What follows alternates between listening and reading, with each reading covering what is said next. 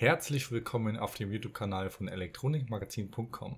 Mein Name ist Esra und ich gebe dir heute ein paar Tipps, welche du beim Kauf von Internetradios beachten solltest.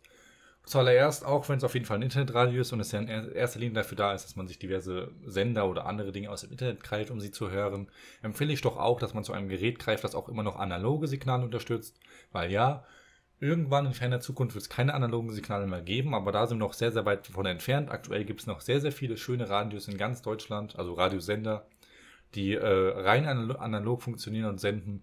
Und es wäre dann doch schade, wenn man schon zu einem Radio greift, dass man dann ein Gerät hat, das eben all diese Sender schon gar nicht mehr empfangen kann. Von daher auf jeden Fall ein Auge drauf behalten, dass man immer noch auch analoge Signale erhalten kann. Falls ihr das Radio ausschließlich oder größtenteils zu Hause benutzen wollt und ihr vielleicht sogar eine Alexa oder ein Google Home oder irgendein anderes Smart Home System zu Hause habt, empfehle ich auch hier darauf zu achten, dass das Radio damit kompatibel ist. Eben dadurch, dass es ein Internetradio ist, sprich halt übers Internet seine Funktion erhält, kann es hier sehr, sehr gut sein oder gibt es hier sehr, sehr viele Modelle, die eben diverse Smart Home Features unterstützen.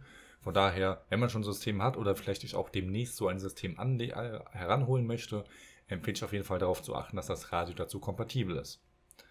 Außerdem, wenn man es vielleicht eben nicht zu Hause benutzen möchte oder nicht nur zu Hause benutzen möchte, gibt es natürlich noch die Frage, ob man zu einem kabelgebundenen oder zu einem transportablen Gerät greift. Hier würde ich grundsätzlich empfehlen, es eben je nachdem zu entscheiden, was man hauptsächlich machen möchte.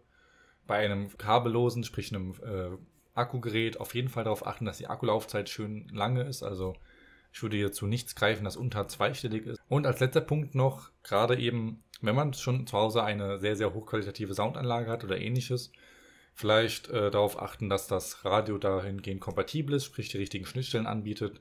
Weil bei diesen kleinen Geräten ist es oftmals nun der Fall, dass auch wenn sie zwei Lautsprecher haben oder ähnliches, sie doch nicht die perfekte Audioqualität liefern, wie sie es könnten.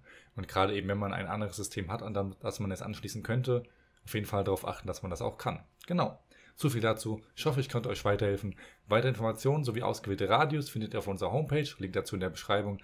Ansonsten würde es uns sehr freuen, wenn ihr diesen Kanal abonnieren könntet. Bis zum nächsten Mal. Tschüss. Vielen Dank für das Ansehen dieses Videos. Um unseren Kanal zu abonnieren, klicke bitte hier. Für weitere interessante Videos klicke hier oder hier.